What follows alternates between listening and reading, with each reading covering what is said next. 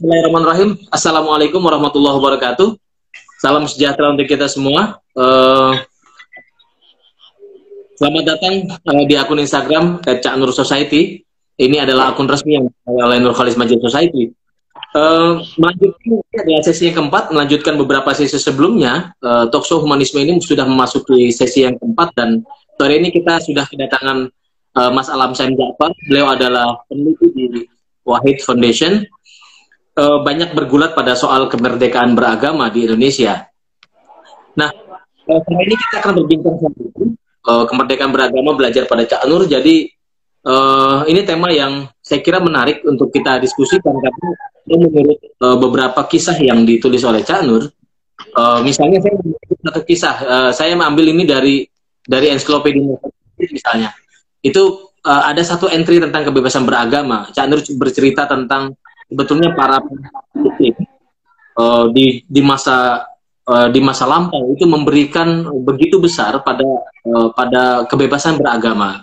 Jadi tidak ada pemberangusan misalnya atas nama agama, atas nama uh, sekte, bahkan pada pada sekte. Jadi ada ada pemberian ruang yang begitu luas pada pada masing-masing agama untuk berekspresi. Nah, kemudian kalau kita melihat pada ketika Nabi hijrah pun beberapa kali kita sampaikan di live IG, itu kan begitu Nabi datang ke Yasrib sebagai pemimpin politik dan sebagai pemimpin negara juga uh, agama itu tidak uh, membiarkan uh, faksi-faksi atau aliran-aliran uh, keagamaan itu tetap tumbuh bebas asal ada tatapan bersama yang disepakati dan itu di apa di, dipatuhi. Nah, problemnya saat ini uh, di Indonesia, padahal kebebasan beragama atau kemerdekaan beragama itu betul-betul dijamin oleh konstitusi. Jadi masuk di dalam Undang-Undang Dasar 1945 dan sampai sejak Indonesia berdiri, sejak Republik berdiri sampai sekarang kita kerap kali mendengar uh, banyak sekali kisah tentang uh, pelarangan ibadah atau katakanlah pelanggaran kebebasan beragama. Nah, uh, sore ini Mas Alam nanti akan memotret uh, ada banyak sekali kasus yang yang uh, yang bisa dikemukakan dan problemnya apa sebetulnya. Uh, bahkan kemarin baru kita dengar kemarin di Solo di Jawa Tengah, saya kira itu juga problem. Uh, saya uh, kabar terakhir polisi sudah menangkap uh, pelaku pelakunya, tetapi itu adalah uh, ada konstelasi politik uh, kemudian tiba-tiba uh, kok uh, apa namanya uh, bersamaan dengan itu juga ada ada pemberangusan atau pelanggaran beragama. Kita tidak akan masuk ke situ, tetapi lebih kepada bagaimana soal kebebasan berekspresi dan kebebasan beragama itu dilanggar di negeri yang majemuk ya. Padahal ada jaminan konstitusinya. Saya kira langsung Mas Alam, uh, ada waktu sekitar 20 menit pertama untuk uh, berbicara apa yang mau disampaikan.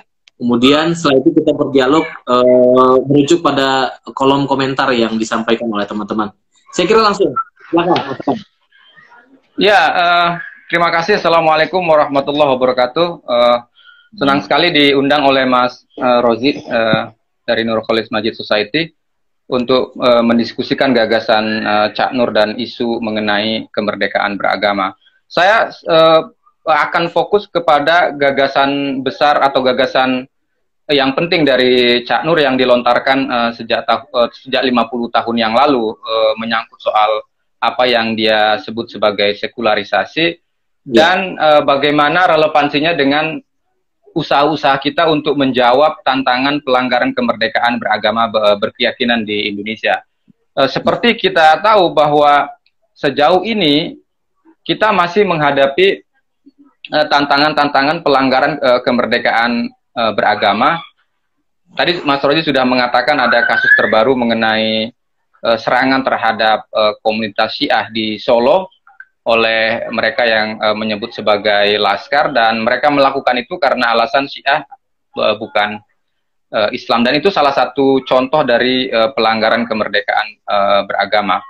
Nah, pelanggaran-pelanggaran ini juga sebetulnya sudah ba sudah banyak diungkap dan dicatat oleh sejumlah organisasi seperti juga uh, Wahid Foundation uh, dan teman-teman uh, dari uh, Setara Institute dan beberapa laporan-laporan dari uh, misalnya uh, Department of Religious Freedom uh, Amerika Serikat juga melakukan laporan rutin tiap tahun. Nah, White sendiri uh, itu mencatat ya sejak uh, periode pertama uh, Pak Jokowi November 2014 sampai Desember 2018 tidak sampai 2019 itu uh, sepanjang 50 bulan itu Indonesia menghadapi atau mengalami uh, 577 kasus pelanggaran uh, yang dilakukan oleh aktor non negara. Jadi 577 dilakukan oleh aktor uh, non negara, tetapi kalau dilakukan oleh aktor uh, negara uh,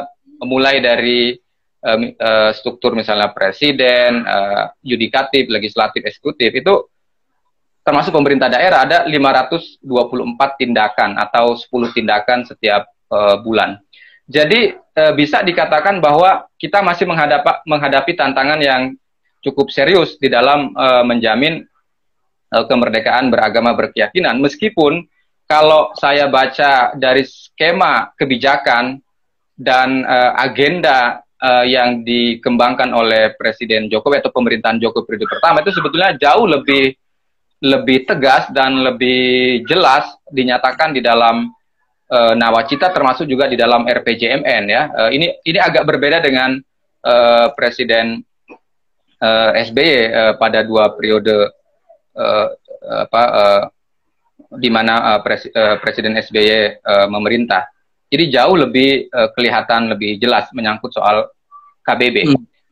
Nah, lalu dari dari kenyataan-kenyataan semacam itu ada, ada pertanyaan utama ya, mengapa sebetulnya uh, meskipun rezim berganti atau pemerintahan berganti, pelanggaran pelanggaran terhadap pelanggaran terhadap KBB itu tidak menurun drastis.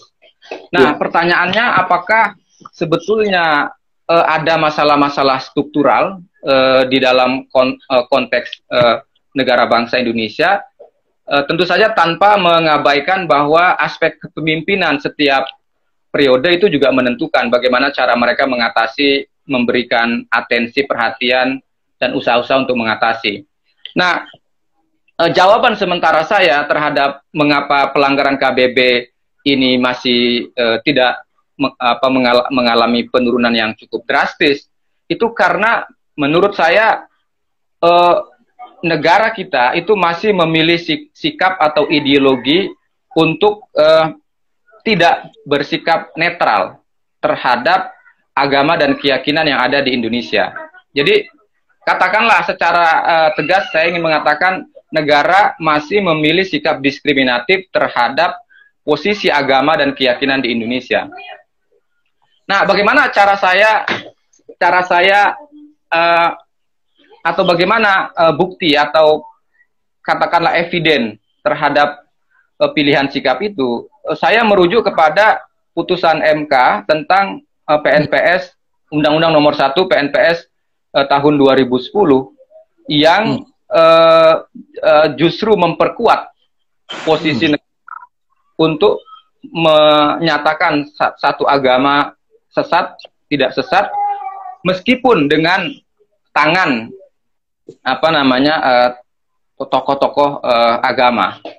Jadi ini sebetulnya pertanda bahwa negara memiliki posisi yang atau memperkuat posisi untuk tetap masuk kepada persoalan apakah agama uh, agama atau keyakinan tertentu itu sesat atau tidak. Karena itulah mengapa penodaan agama menjadi uh, penting buat uh, negara untuk mengatur ya. Jadi penafsiran itu juga nanti dapat di apa di uh, hukum.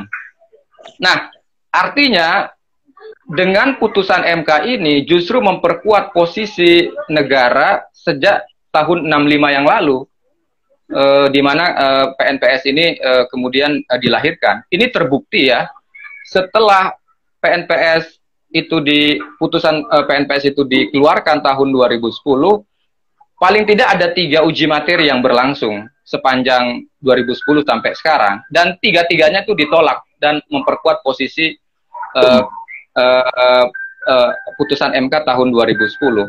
Nah, memang memang gini, memang putusan MK tidak semuanya uh, tentang PNPS tidak semuanya bermasalah. Saya melihat ada kejelasan yang sangat konkret bahwa uh, putusan MK mengatakan bahwa negara uh, tidak dalam posisi untuk mengakui satu agama uh, resmi atau tidak, sah atau tidak, itu diserahkan sepenuhnya kepada uh, pemeluk agama. Dan ini saya kira uh, terobosan yang penting dari uh, putusan uh, MK. Tetapi masalah lain terjadi karena apa? Karena meskipun uh, MK mengatakan forum internum atau hak-hak uh, dasar di dalam setiap uh, manusia, yaitu memilih tidak memilih agama atau keyakinan tertentu tidak dapat diintervensi, tetapi dalam putusan itu MK mengatakan ekspresi terhadap forum internum, ekspresi itu misalnya bagaimana cara menafsirkan, bagaimana beribadah dan lain-lain, itu mempengaruhi uh, ruang publik yang jika mereka melakukan penafsiran yang menyimpang, yang lalu melahirkan kegaduhan publik atau masalah di publik, maka negara dapat membatasi. Jadi itu saya kira poin yang uh, dengan jelas uh, mengatakan meskipun forum internum tidak dapat diintervensi, tapi sebetulnya dia dapat diintervensi. Dan ini dalam pendekatan hak asasi manusia agak uh, bermasalah karena forum internum sebetulnya menjadi wilayah yang sangat uh, uh, dihormati. Nah, apa pentingnya gagasan sekularisasi oleh Cak Nur? Menurut saya adalah gagasan sekularisasi Cak Nur itu sebetulnya sedang mendorong agar negara semaksimal mungkin bersikap netral atau tidak diskriminatif terhadap agama dan e, keyakinan e, pemeluknya. Jadi itu saya kira poin e, poin e, penting dari e, gagasan e, Cak Nur. Dan kita tahu apa yang dimaksud oleh Cak Nur sebagai sekularisasi adalah berbeda dengan sekularisme. Satu, ya. satu paham, satu ideologi yang juga sama posnya kadang-kadang dengan uh, apa itu uh, dasar agama. Jadi Cak Nur membedakan dengan jelas antara sekularisasi atau sekularisme. Sekularisasi bagi Cak Nur adalah satu usaha untuk kata dia di dalam uh, tulisannya mengenai keharusan pembaruan pemikiran Islam itu kan bagaimana menduniawikan sesuatu yang sebetulnya uh, duniawi dan tidak sebaliknya. Dan karena itu sistem negara itu adalah perkara yang sangat duniawi dan tidak uh, seharusnya di uh, ukhrawikan. Itu kira-kira pandangan uh, apa namanya uh, Cak Nur. Nah, jadi saya kira posisi atau gagasan Cak Nur ini menjadi penting untuk menjawab tantangan pelanggaran kemerdekaan beragama. Sebab begini, kalau negara bersikap netral ya, atau saya mau balik lagi ke PNPS yang tadi. Jadi implikasi implikasi putusan MK meyaki hmm. apa itu menghakimi atau menyatakan satu agama sesat atau tidak sesat, dia bahkan memberikan jalan untuk kemudian uh, pemerintah sebagai pelaksana itu me membolehkan uh, munculnya usaha-usaha yang menelurkan kebijakan-kebijakan yang bernuansa agama ya bahkan ya. sekarang ini uh, laporan Wahid Foundation tahun 2017 kita itu pernah banjir perda syariah ya pada tahun 2007 sampai uh, kalau tidak salah sampai 2000 uh, eh, sorry 2000-an sampai 2007 dan itu kemudian uh, menurun drastis karena kritik banyak pihak. Tapi pada 2017 kami menemukan ada lebih dari 10 aturan-aturan kepala daerah yang mengimbau, istilahnya memang mengimbau, tapi sebetulnya mewajibkan uh, para uh, ASN, aparatur sipil negara untuk sholat tepat waktu. Itu di beberapa di beberapa uh, daerah. Jadi itu menurut saya adalah implikasi dari uh, posisi negara yang sebetulnya boleh mengatur, uh, bukan hanya mengatur isu-isu keagamaan, bahkan menyatakan agama sesat tidak sesat, menyimpang atau tidak menyimpang itu negara dapat uh, melakukannya. Nah, hmm. uh, jadi kembali lagi ke soal uh, gagasan Cak Nur, saya kira perjuangan yang paling penting adalah bagaimana mendorong negara kalau bisa bers bersikap untuk tetap uh, netral. Nah, hanya masalahnya uh, situasinya memang seperti sekarang ini gitu. Jadi kenyataannya kita uh, dihadapkan pada ada banyak regulasi-regulasi bernuansa agama yang dis, disah apa disahkan ada zakat, ada undang-undang uh, JPH, uh, belum lagi perda uh, syariat dan itu adalah kenyataan yang tidak bisa kita hindari tetapi dalam kajian hak asasi manusia sebetulnya uh, perkara apakah satu negara memiliki memilih sistem sekuler atau berbasis agama itu sebetulnya sudah mulai ditinggalkan perdebatan itu.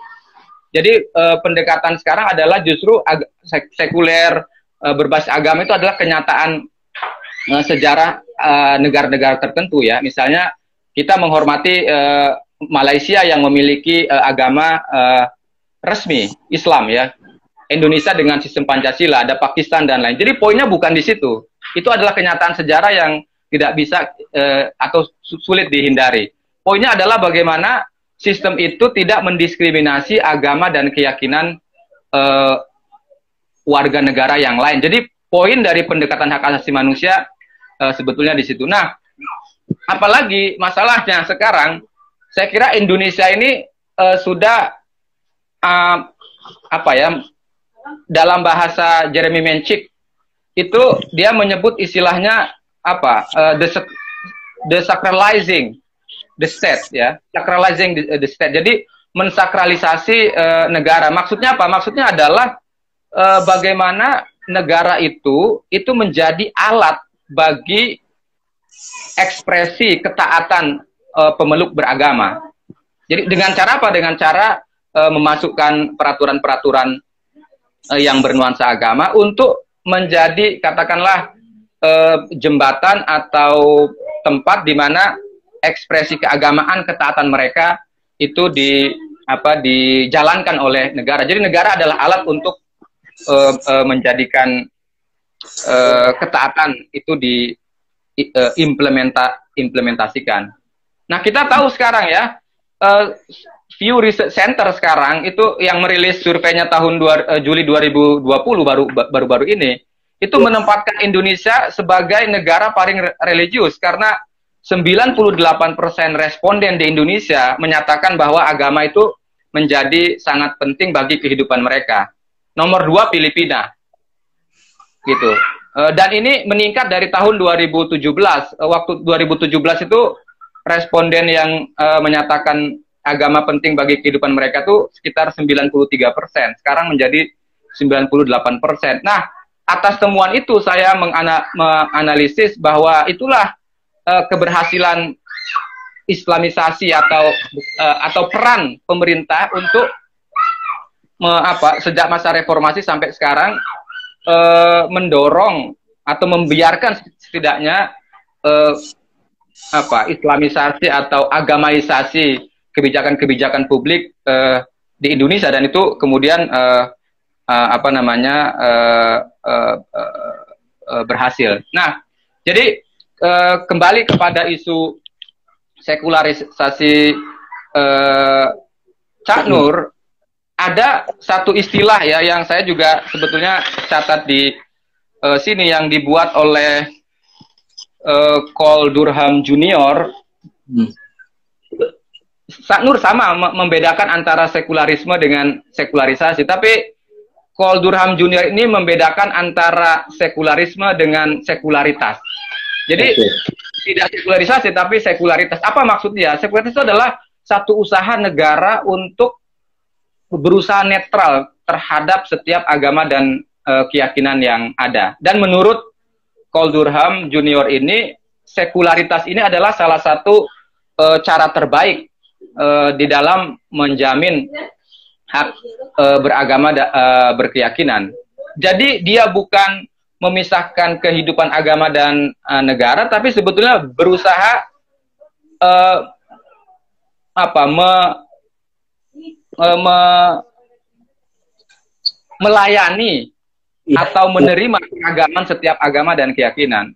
Dan itu hmm. menurut dia cara yang uh, paling baik dan dan saya kira gagasan sekularis Cak Nur itu sebetulnya adalah dalam kerangka itu. Jadi bukan me, bukan sekularisme dalam pengertian meni, uh, meminggirkan agama, tapi bagaimana uh, mendorong agar nilai-nilai agama yang universal itu bisa mempengaruhi ruang publik Indonesia, tapi berdasarkan prinsip-prinsip umum. Itu yang saya baca dari beberapa uh, tulisan uh, beliau, uh, apa namanya uh, tentang itu. Nah, sekarang masalahnya adalah memang tidak mudah untuk mengimplementasikan gagasan sekularitas atau sekularisasi itu karena kita sekarang berhadapan pada aspek-aspek detail dan di situlah sebetulnya negosiasi kita atau ne negosiasi yang abadi menurut saya dalam konteks negara bangsa di Indonesia.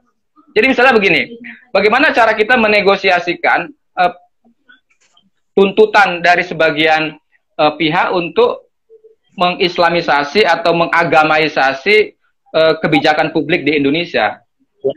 Di situ kita harus negosiasi mana yang paling mungkin bisa dinegosiasikan dan tidak bisa dinegos. Apakah itu bertentangan dengan prinsip hak asasi manusia uh, atau tidak? Dan sekarang proses ini terus uh, berlangsung dan dalam wilayah itu kita sebetulnya akan akan terus uh, bernegosiasi bagaimana cara uh, apa namanya uh, negara bersik, uh, bersikap uh, netral.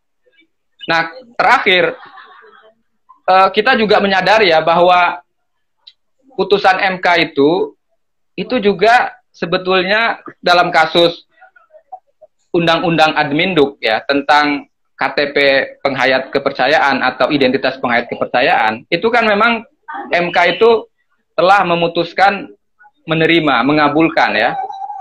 Tetapi apa yang sebetulnya buat saya penting adalah sebetulnya putusan itu tidak mengubah posisi aliran kepercayaan menjadi sesuatu yang setara dengan agama. Jadi negara tetap membedakan antara agama, terutama agama yang lima, dengan aga, uh, dengan aliran kepercayaan. Dan di situlah apa itu uh, dikabulkannya uh, uji materi uh, tentang aliran kepercayaan. Jadi saya ya. tidak yakin kalau posisinya mengubah setara hak antara aliran kepercayaan dengan agama. Itu juga menurut saya sesuatu yang uh, agak sulit karena tadi posisi negara sudah mengambil sikap untuk membedakan antara aliran kepercayaan agama yang uh, uh, uh, apa itu yang uh, yang besar atau agama yang belum diakui seperti di dalam undang-undang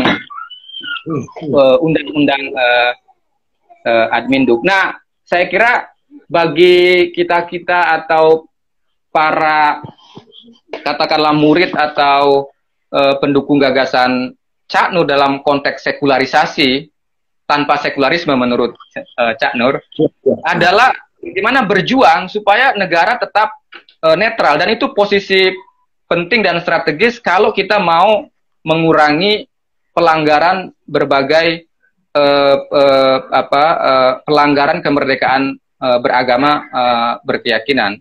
Tentu saja ada aspek lain misalnya law enforcement uh, apalagi uh, non uh, sikap layanan publik yang non diskriminatif uh, terhadap uh, agama dan keyakinan. Saya kira untuk sementara itu dari uh, saya Mas Rozi. Mudah-mudahan memantik atau ya, memberi insight untuk Terima kasih. kita.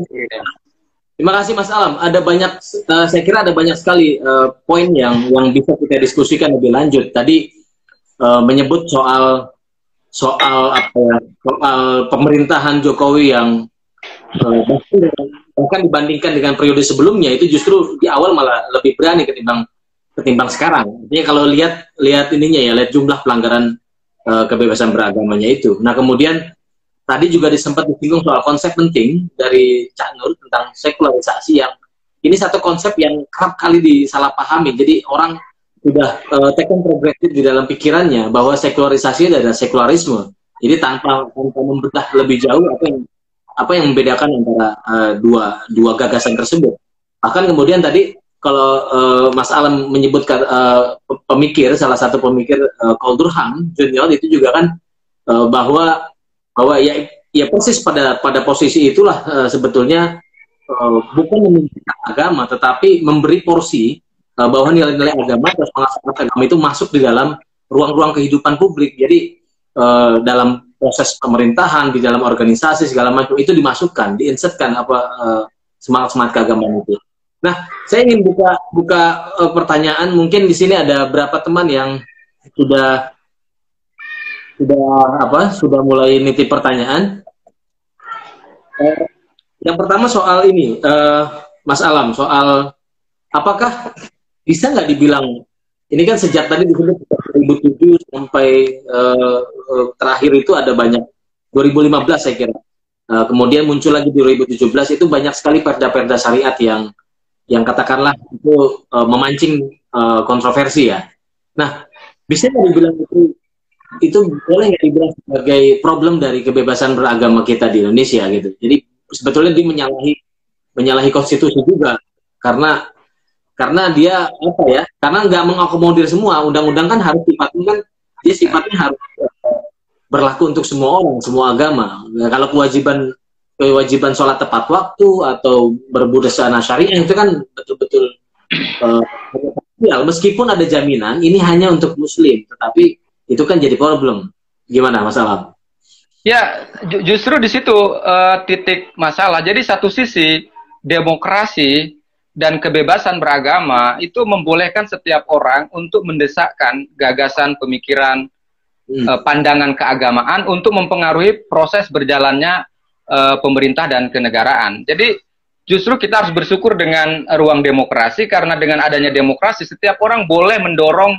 menyampaikan aspirasi untuk uh, apa namanya uh, uh, apa agar aspirasi mereka terpenuhi. Bahkan kita punya pengalaman kan se sejarah pada masa reformasi uh, ada usaha-usaha untuk mengembalikan Pancasila uh, mengembalikan piagam Jakarta uh, ke dalam uh, Pancasila dan itu sesuatu yang wajar di dalam konteks uh, demokrasi. Nah, justru di situlah peran uh, apa ya, yang saya sebut sebagai di situlah uh, problem atau tantangan negosiasi kita.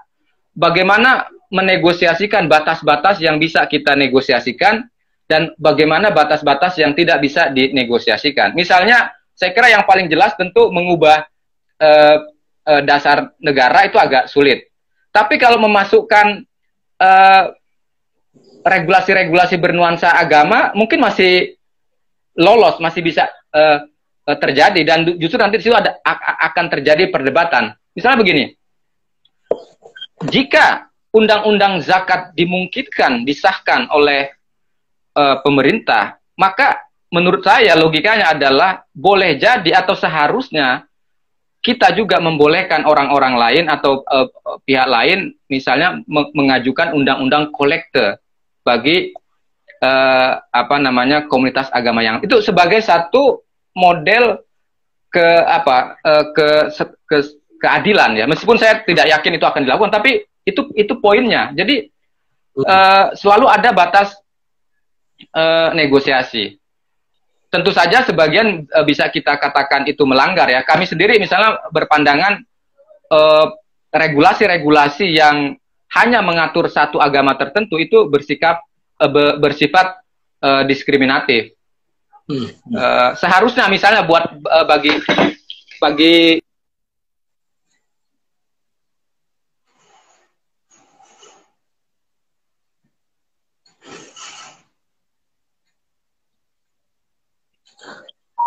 Ya. Jatuh. Bagi bagi saya, misalnya ya, apakah tidak lebih universal kalau misalnya eh, zakat itu, undang-undang zakat itu dipayungi oleh undang-undang yang sifatnya lebih umum. Jadi dia memayungi zakat, memayungi eh, apa itu eh, eh, bukan charity ya, kewajiban-kewajiban keagamaan yang lebih universal sehingga dia tidak mendiskriminasi hanya satu atau dilakukan untuk satu agama atau uh, satu keyakinan uh, tertentu. Jadi uh, kan tidak adil juga kalau pajak kita oleh orang yang beragam agama hanya mengurus satu satu agama atau satu keyakinan uh, tertentu. Jadi itu tapi itulah batas negosiasi kita, bukan batas tapi uh, ruang di mana kita harus melakukan negosiasi apa yang dimaksud sesuai dengan Pancasila, sejalan dengan hak asasi manusia atau uh, tidak. Dan di situ saya kira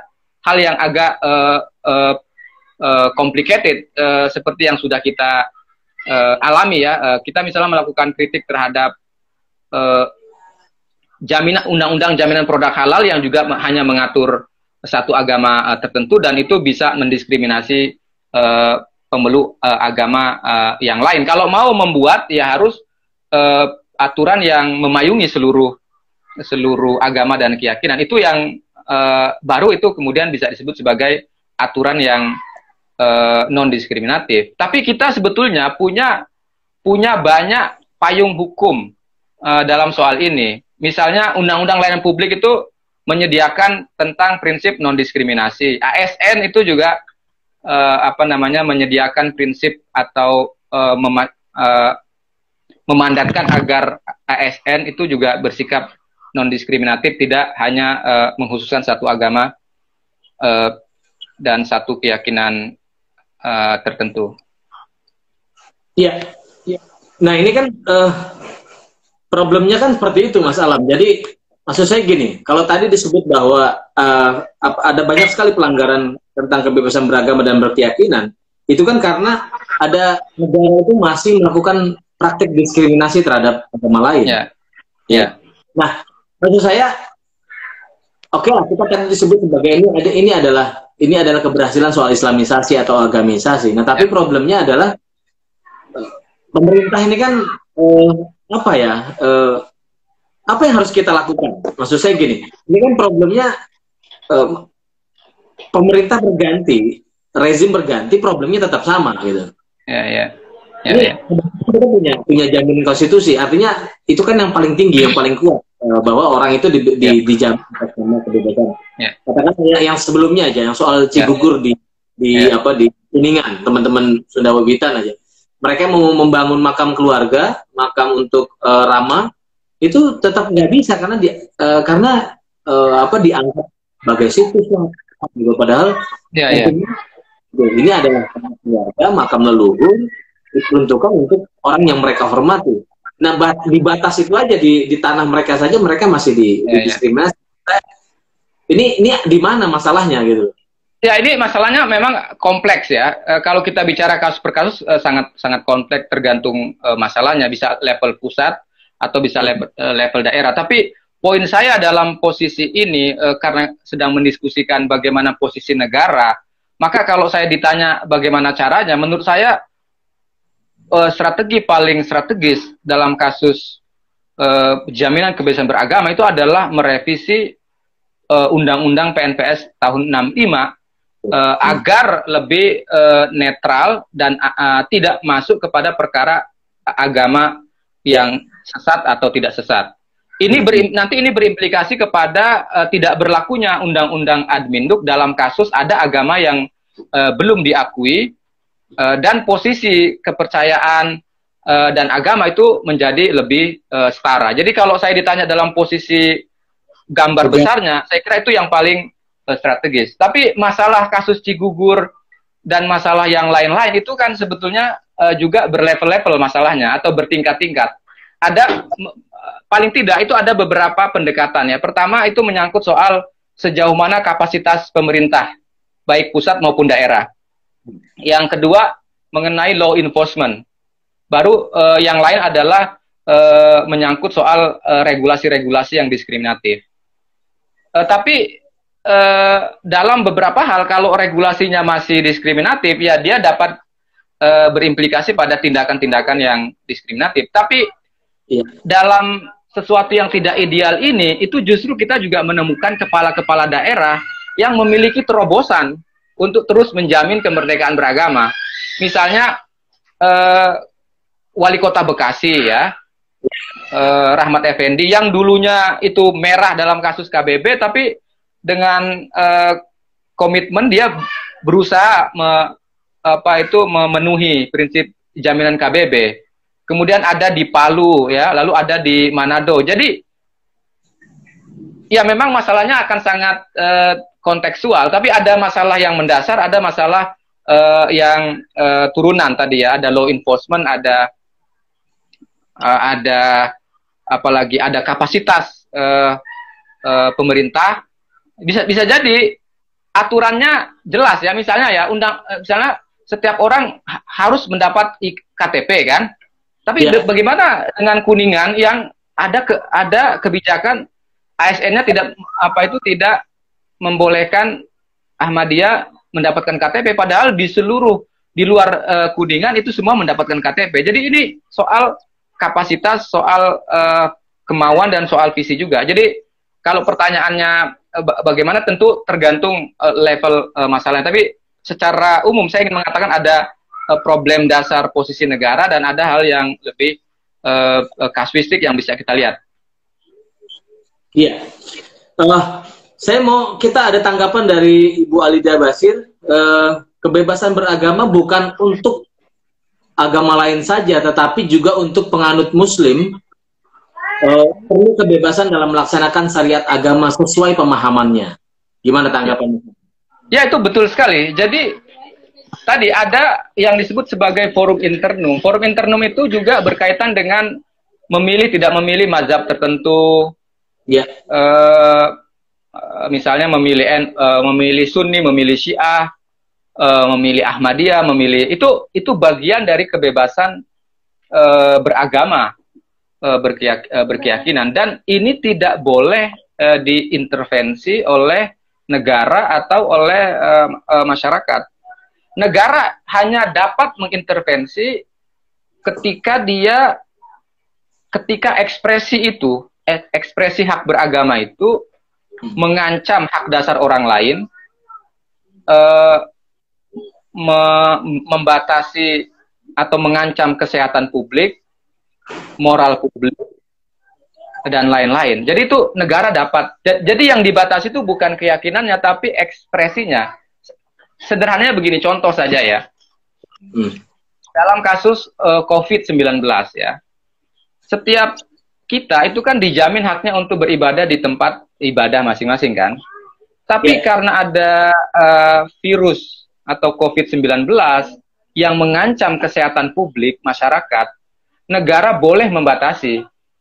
Dengan cara apa? Dengan cara membuat kebijakan supaya umat beragama itu tidak beribadah di tempat ibadah masing-masing. Nah, pembatasan semacam ini pembatasan yang sejalan dengan prinsip pembatasan. Jadi itu tapi pembatasan itu bukan keyakinannya loh, bukan keyakinan bahwa bahwa karena uh, apa itu artinya gini negara tidak masuk kepada perkara keyakinannya negara hanya fokus bahwa dengan membatasi itu keselamatan kesehatan publik itu di, dijamin bahwa orang mau menyatakan sholat uh, tiga tiga kali sholat Jumat itu menjadi kafir tidak kafir itu urusan bukan urusan negara. Urusan negara adalah uh, membatasi uh, atas alasan keselamatan uh, publik jadi betul sekali uh, kebebasan beragama itu bukan hanya antar agama, uh, tapi juga intra bahkan individu antara satu orang dengan uh, orang lain. Oke, okay. Mas Alam, saya mau kembali ke yang tadi kita uh, bicarakan. Itu kalau dari dari pengalaman Mas Alam, uh, artinya mengawal kasus, kemudian menulis laporan, artinya banyak sekali. Uh, itu mana yang paling dominan? uh, sebab terjadinya pelanggaran. Itu karena kapasitas uh, penyelenggara negara atau karena law enforcement tadi? Atau atau, atau apa? Problem apa yang lain? Misalnya politik uh, apa takut asal nanti. Ya ya saya saya kira ya kalau kita menggunakan pendekatan hak asasi manusia maka tidak ada tidak ada institusi lain yang paling bertanggung jawab selain negara tentu negara itu dalam beberapa levelnya. Dalam hal ini adalah pemerintah ya. Bisa yudikatif eh, eksekutif eh, eh, dan dan legislatif. Jadi artinya apa? Artinya sebetulnya hitam putihnya kebebasan beragama di Indonesia atau di banyak negara itu ya. adalah ditentukan oleh hubungan atau peran dari negara uh, dari posisi uh, atau peran negara uh, terutama uh, pemerintah.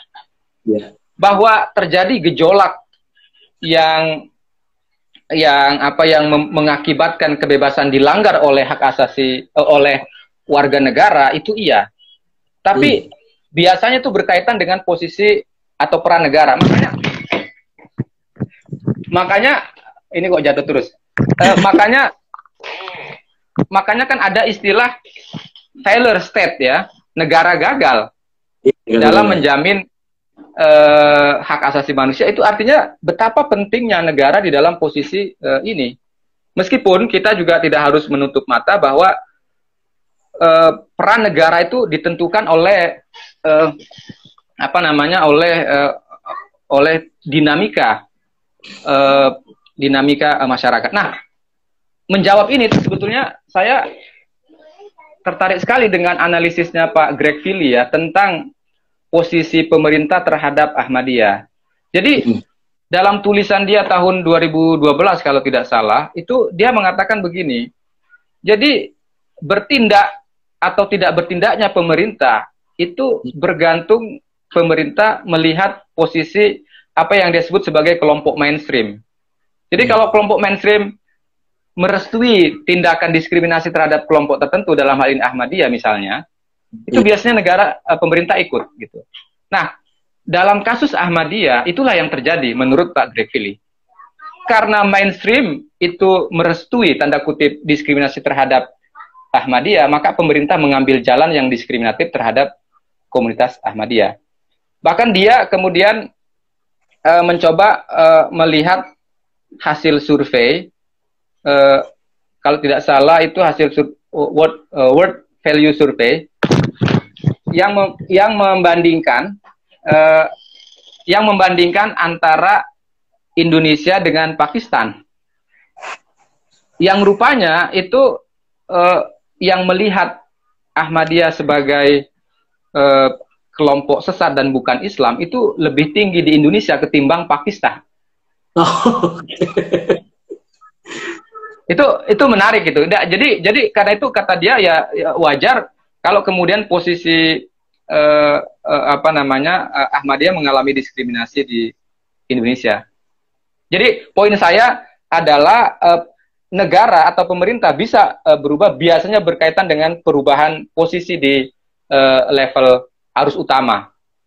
Bisa jadi uh, NU, Muhammadiyah atau yang lain-lain. Dan kita bisa berkaca dalam kasus uh, eh, RUU uh, eh, sorry uh, revisi Undang-Undang Ormas kan dalam kasus uh, uh, uh, HTI misalnya yang yeah. itu saya kira sebagian uh, didukung oleh organisasi-organisasi besar dan karena itu memberikan kepercayaan diri bagi pemerintah mengambil sikap. Oke, okay. uh, sebentar ini ada tanggapan dari siapa ini?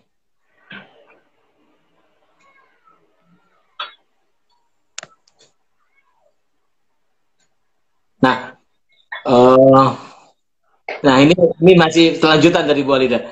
Jika ya. kita sering memakai alasan diskriminasi terhadap yang berbeda keyakinan, kesannya seakan kita harus ngalah demi kepentingan agama lain. Padahal intinya adalah kebebasan menjalankan berkeyakinan masing-masing. Ya, saya tidak tahu arti mengalah itu dalam kasus apa ya. Tapi bukankah dalam uh, berbangsa dan bernegara itu selalu ada titik kesepakatan bersama uh, hmm. berdasarkan uh, konstitusi dan undang-undang dasar. Justru itu poinnya. Uh, jadi mengalah untuk apa ya? Mengalah untuk memenuhi hak dasar uh, uh, apa namanya uh, orang lain. Dan saya tidak tahu dalam kasus mengalah apa ya uh, yang kemudian melanggar hak kita gitu ya, melanggar kebebasan dasar kita. Hmm, hmm. Nah, itu yang perlu saya uh, be belum begitu uh, uh, jelas, tapi saya mau me menyimpulkan saja bahwa mengalah itu bisa jadi kita perlu mengalah karena hmm. karena itulah amanat undang-undang. Ini sama dengan tanda kutip mengalahnya founding father kita di dalam perumusan Pancasila. Kan inginnya inginnya dengan tujuh kata dalam pi apa piagam. Jakarta. Ya. Tapi karena terjadi penolakan dari komunitas uh, uh, apa tokoh-tokoh aga, uh, agama dan tokoh masyarakat yang lain, maka uh, founding father kita itu secara bijaksana me, tanda kutip mengalah dan menerima uh, Pancasila tanpa uh, tujuh uh, kata gitu. Mungkin, nah, iya. mungkin membantu. Iya, uh, itu gimana kalau kalau konteksnya ada law, law enforcement, Mas Alam? Itu misalnya polisi lah, katakanlah polisi, uh, faktor negara juga. Polisi yeah, ya. mengambil yeah. itu sejauh mana uh, sejauh mana pemahaman keagamaan mereka masing-masing dalam meningkat kasus beragama. Jadi sebetulnya basisnya itu uh, basisnya lebih kepada ya polisi adalah kalau konteksnya itu itu soal pemahamannya tentang kebebasan beragama atau uh, atau soal ininya, soal apa tadi uh, mainstream, suara mainstream itu? Ya, uh, saya kira uh, pertanyaan jawabannya memang tidak di, tidak tunggal ya. Satu sisi memang ada semacam pandangan umum mengenai bahwa kalau urusannya agama itu adalah urusan yang sangat uh, uh, apa itu sensitif dan karena itu harus melibatkan tokoh-tokoh uh, agama atau organisasi-organisasi uh, seperti uh, kalau di Islam itu ada Majelis Ulama uh, Indonesia untuk menentukan apakah seseorang sesat atau tidak sesat gitu ya. Padahal uh, uh, fatwa itu memang hak setiap uh, apa itu komunitas beragama, tapi dia tidak dapat di tidak dapat tidak dapat di uh, dijadikan uh, hukum positif gitu ya. Uh, dan dia mengikat uh, bagi uh, umatnya, tapi tidak dapat dijadikan oleh pemerintah sebagai uh, hukum positif. Jadi itu soal mindset. Tapi juga ada uh, problem lain soal uh, politik juga gitu. Politik uh, di tingkat uh, apa itu uh, elit gitu ya. Dan uh, kita bisa lihat itu, misalnya dalam kasus penodaan agama yang uh, apa tuduhan atau dakwaan, pendakwaan ya, uh, ya uh, apa? Uh, tuntutan ya untuk memenjarakan uh, uh, Ahok dalam uh, karena terkait dengan penodaan agama itu sebetulnya juga menunjukkan ada berga, ada proses politik yang tidak bisa kita elakkan di dalamnya. Meskipun uh, dari situ kita belajar bahwa kepolisian waktu itu de dengan jelas me me menyatakan kepada publik bahwa mereka tidak uh, tidak menjadikan uh, fatwa MUI sebagai uh, hukum positif gitu ya. Itu saya kira satu kemajuan, tapi kan di luar itu ada proses politik yang uh, kelihatan. Yeah Ya. Jadi satu ada uh, problem mindset, yang kedua ada proses uh, politik, dan yang ketiga itu ada kap kapasitas juga gitu ya. Misalnya hmm. gini, dalam kasus uh, ujaran kebencian, ba bagi saya uh, kasus ujaran kebencian ini penanganannya masih uh, belum cukup uh, uh, efektif karena dia hanya menyasar atau memproses kasus-kasus yang sebetulnya bukan dalam derajat sangat bermasalah. Nah, kalau kita baca uh, rabat plan of action yang dibuat uh, dan diakum apa diakomodasi oleh uh, uh, PBB itu kan jelas sekali mana kasus-kasus uh, yang dia dalam derajat tinggi harus dibatasi yaitu kasus-kasus ujaran kebencian yang menyerukan atau mengadvokasi kekerasan terhadap kelompok tertentu. Tapi kalau hanya misalnya saya yang punya uh, follower kecil gitu ya, lalu ya. menyatakan kepada pejabat tertentu ber, berbau ujaran kebencian seperti uh, keyakinannya dan lain-lain, itu sebetulnya tidak perlu di apa itu dipidana. Justru justru yang harus diproses itu adalah ketika ada tokoh-tokoh agama atau pejabat atau siapa pun yang menyerukan kekerasan katakanlah terhadap Ahmadiyah atau terhadap Syiah uh, di uh, uh, apa di, di, di tempat terbuka itu yang justru wajib dibatasi atau diambil tindakan karena potensi terjadinya hate crime atau kejahatan kebencian itu lebih besar ketimbang yang pertama gitu. Iya. Yeah, Jadi itu yeah. itu itu contoh soal soal uh, kapasitas uh, bukan kapasitas tapi uh, pendekatan. Jadi mana tindakan-tindakan yang harus dilakukan dan mana yang tidak dilakukan gitu. Contohnya ya dalam kasus yang lain kepolisian kadang dulu kan kritik kita adalah kepolisian sering uh, mengevakuasi korban. Hmm. Tetapi tidak mencegah orang yang melakukan kekerasan gitu. Betul, Jadi betul. kan itu sebetulnya terbalik kan inginnya inginnya idealnya adalah kepolisian mencegah orang melakukan kekerasan lalu melindungi korban ini nah jadi itu uh, tapi ini juga agak menarik karena saya pernah juga itu uh, sambil bergurau kepada dalam satu pertemuan dengan kepolisian Pak kok kalau dalam kasus SD apa SDA ya kasus konflik sumber daya alam itu polisi lengkap loh Pak bahkan pakai senjata itu bahkan mereka yang demo aja bisa langsung diangkut tapi yeah. mengapa dalam kasus kelompok minoritas itu sebaliknya. Jadi apa yang membedakan? uh, pendekatan ini. Jadi itu saya kira ada anomali-anomali yang uh, menjadi PR kita bersama. Jawabannya Tanyakan rumput yang bergoyang. saya tuh saya nunggu jawaban. Oke, ini mau klarifikasi yang uh, tadi yang statementnya Ibu Alida Basir itu. Jadi sebetulnya bukan kadang kadang kita harus mengalah, tetapi gini maksudnya. Jadi kita sering memaknai alasan diskriminasi, apa memakai alasan diskriminasi terhadap yang berbeda keyakinan itu kesannya seolah kita harus mengalah demi kepentingan agama lain. Padahal kan bukan itu. Adalah kebebasan keyakinan masing-masing. Jadi kalau ada ya udahlah kita kita ini dulu gitu mungkin. Itu bukan maksudnya mengalah tapi kita kan sama-sama hidup, kita sama-sama bayar pajak, kita sama menjalankan ini di bawah konstitusi yang sama. Ya kita juga punya kebebasan untuk menjalankan ibadah masing-masing. Mungkin maksudnya itu saya agak ya, ya. flash agak flashback ke ke Bu Alida ya, tadi. Tapi betul betul. Tapi itu memang itu memang saya kira sering terjadi di dalam cara pandang kita ya. Misalnya dalam kasus perdebatan Pancasila saja sampai sekarang ini gitu ya. Itu kan sering muncul narasi bahwa tidak digunakannya piagam Jakarta itu adalah pemberian gitu dan itu adalah hasil dari apa umat Islam yang besar ini mengalah bagi kan jadi itu menurut saya uh, bisa dipahami karena itu uh, juga muncul di dalam narasi-narasi kita. Iya, iya, iya. Uh, satu lagi, uh, satu lagi uh, pertanyaan dari Ibu Rani, dikit, uh, dikit aja.